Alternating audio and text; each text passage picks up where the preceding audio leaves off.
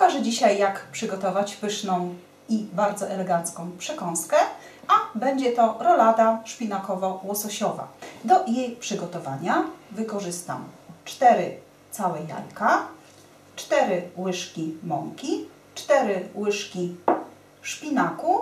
Ja już mam szpinak odsączony, rozmrożony, bo korzystam ze szpinaku mrożonego, ale można wykorzystać również szpinak świeży. Pół łyżeczki soli i łyżeczka proszku do pieczenia. Będzie potrzebny również serek. Ja mam tutaj serek śmietanowy z dodatkiem czosnku, bo czosnek świetnie komponuje się zarówno ze szpinakiem, jak i z łososiem i będzie potrzebny również 150 g łososia. Zaczynam od przesiekania szpinaku.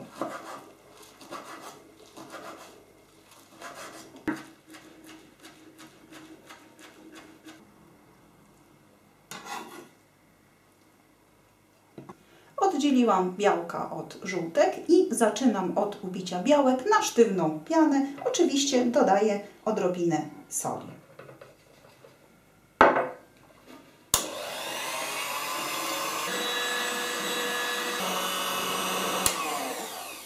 Pianę z białek mam już ubitą. Zaraz zabieram się za ubijanie żółtek.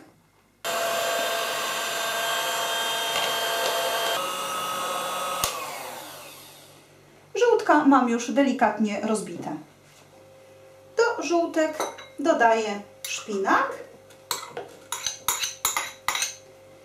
i wszystko delikatnie przemieszam.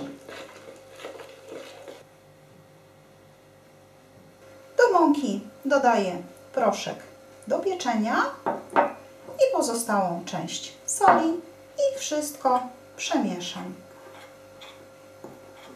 Wszystkie składniki na naszą roladę teraz połączę. Do ubitej piany z białek dodaję żółtka połączone ze szpinakiem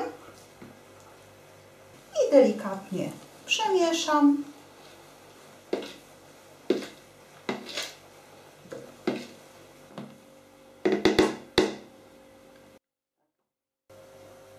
Wsypuję mąkę połączoną z proszkiem do pieczenia i ponownie wszystko delikatnie mieszam i za moment mam już gotowe ciasto na roladę szpinakową. I ciasto mam już gotowe.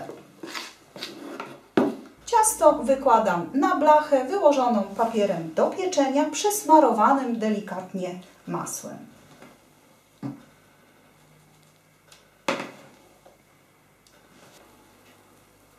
Porcja ciasta wystarcza na blaszkę o wymiarach 28 cm na 32 cm. Ciasto rozprowadza mniej więcej na jednakową grubość. Już mam dobrze rozłożone i będę piekła tak około 15 minut w piekarniku nagrzanym do 170 stopni. Łososia kroję w kostkę.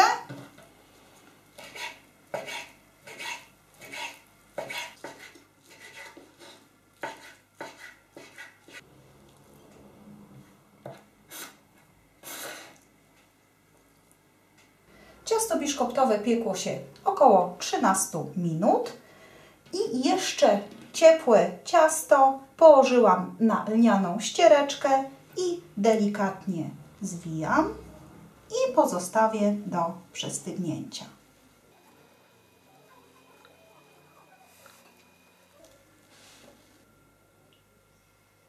Rolada biszkoptowa już przystygła.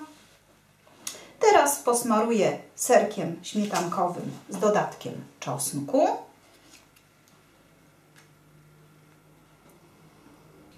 Serek mam już prawie rozprowadzony i zaraz będę nakładała łososia.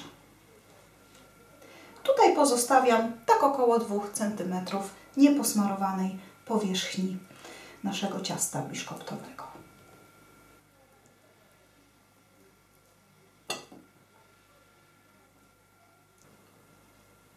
Moja praca dobiega końca, A zatem zwijam roladę.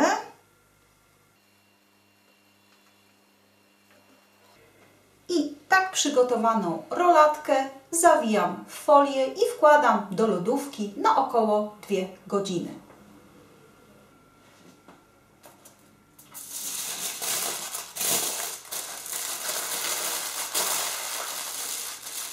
Rolada szpinakowo-łososiowa jest już gotowa do jedzenia. Doskonałe połączenie składników sprawia, że smakuje wybornie, a doskonałe połączenie kolorów sprawia, że wygląda pięknie.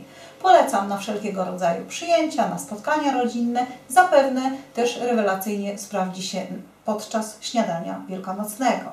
A zatem gorąco polecam i życzę smacznego.